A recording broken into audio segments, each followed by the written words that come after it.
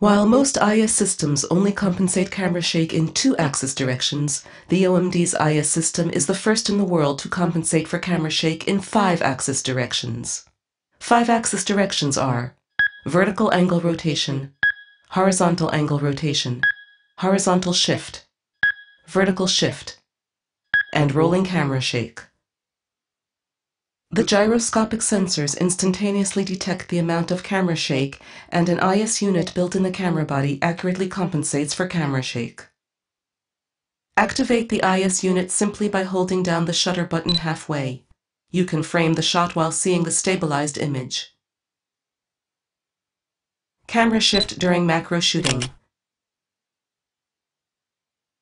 Rolling camera shake at low shutter speeds and camera shake when shooting movies while walking.